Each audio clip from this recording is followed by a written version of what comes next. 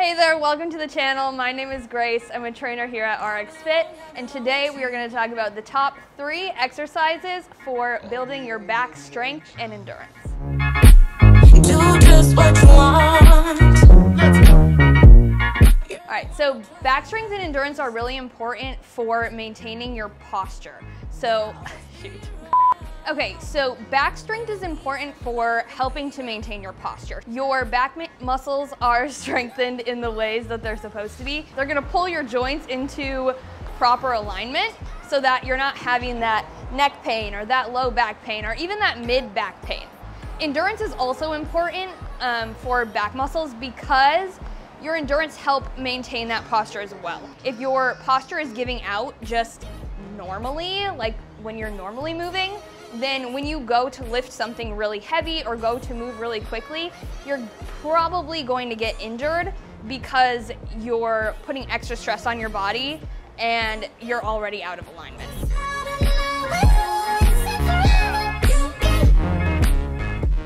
All right, so anytime you start a workout, you want to prepare your body for that workout. So you don't wanna just jump in cold because one, your body temperature is not warmed up, you're at an increased uh, risk for injury.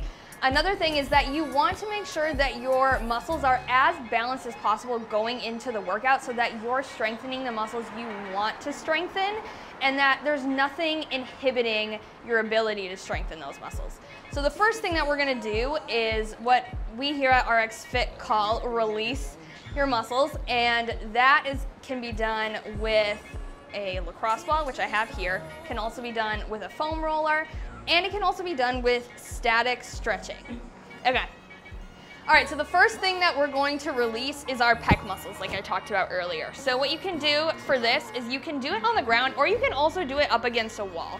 I'm gonna do it down on the ground here. So you're gonna wanna put it right in basically like the little pit of your armpit here. So in between your shoulder and the top of your chest, right in here is where you're gonna place that ball. And I'm gonna go down to the ground and just put it right in here, push as much pressure as I can into that muscle and just hold for that 30 to 60 seconds.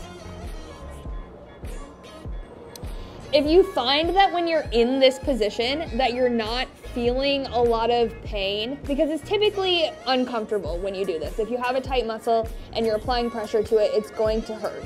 So if you're not really feeling much of anything, you can kind of play with the placement and move it a little bit to the left, a little bit to the right, up or down a little bit until you find the spot that really is uncomfortable. Another commonly tight area on a lot of people is our trap muscles. So that's gonna be right here behind our neck so you're going to place, oh, laying on a battery pack.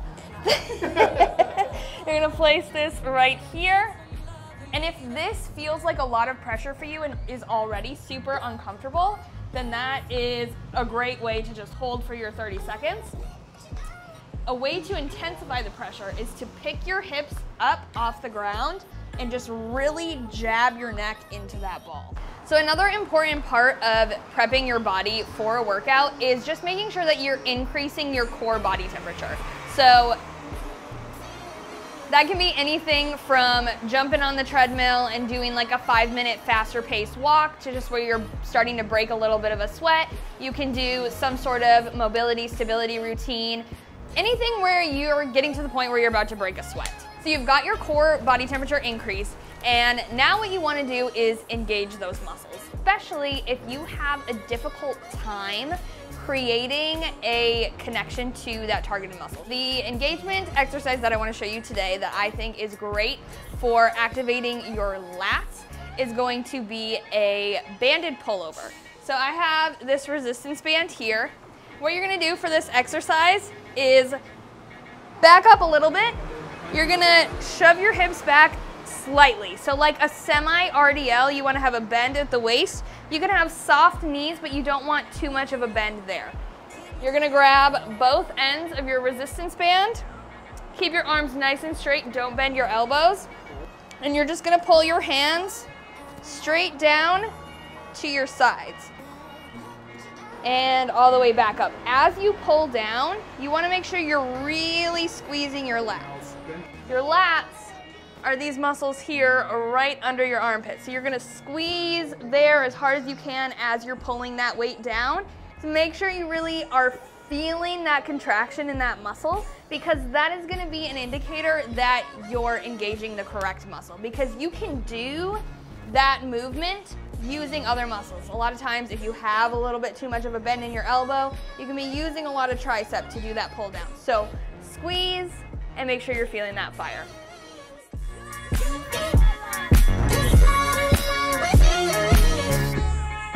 All right, so the first exercise for improving your back strength and endurance is going to be a scapular pull-up. The way that we're going to do this exercise is you are going to hang from a pull-up bar. You can use a resistance band to assist you in this movement if you feel like it's a little bit too difficult to do without one, but it's not a requirement. The way that we're gonna execute this exercise is you are going to sink all the way down as far as you can so that your shoulder blades are completely flared up. You wanna get as low as you can, sinking down to the bottom of your range of motion there. Okay. Then what you want to do is you want to depress your shoulder blades. So pull them down as the same way that you would in a lat pull down exercise. You want to pull your shoulder blades back and down at the same time that you're keeping at the same time that you're keeping your elbow completely straight. You do not want to bend your elbow because that is going to take some of the stress off of our targeted muscles and put a little bit more on our bicep. This movement is going to engage your rhomboids, which are those muscles we talked about right in between your shoulder blades. And they're also going to get a little bit of lat engagement. It's not a ton of lat engagement, but it will help to strengthen your lats. Okay, the second exercise that we're going to do is a TRX suspension trainer row. So you want the straps to the point where you're able to touch your thumb to your armpit. This is gonna be your placement for how low to have the straps. What you're gonna do is you're gonna lower yourself down all the way to the bottom. You wanna make sure you're in a nice straight line here. So you don't wanna bend at the hips. You wanna keep yourself in a nice straight line what you're gonna do from here is pull your elbows back until they get right past your midline here. You can make this a little bit more difficult by walking your feet a little bit lower down. Same exact form here, all the way down to the bottom, and pull yourself up. If you wanna make it a little bit easier, you can walk backwards. Same thing, keeping that nice straight line. Okay, so the third exercise that we're gonna do for improving your back strength and endurance is going to be an RDL. A lot of people think about this exercise as one that mainly targets your glutes and your hamstrings. And while it does target those muscles and it does strengthen those muscles, it also strengthens your back musculature's endurance. So, okay, so let's get into it. You can grab dumbbells or kettlebells to do this exercise. And what you wanna do is almost that same position that we did with the banded pullovers in the engagement piece. You're gonna shove your hips back, but this time a little bit farther all the way down until you're getting a full stretch in the back of your hamstrings. Once you can't stretch your hamstrings anymore, you're going to squeeze your glutes all the way up to the top. As you go down, you wanna make sure that you're squeezing the absolute crap out of your back muscles so that you're staying in proper alignment here. You don't want to compromise that flat back. So you're squeezing your lats, you're squeezing your shoulder blades back together, and that is the isometric hold that I'm talking about. That's going to improve your muscular endurance of all the muscles on your back and work alongside your glutes and your hamstring development in that exercise to double in the fight against low back pain and improving your posture.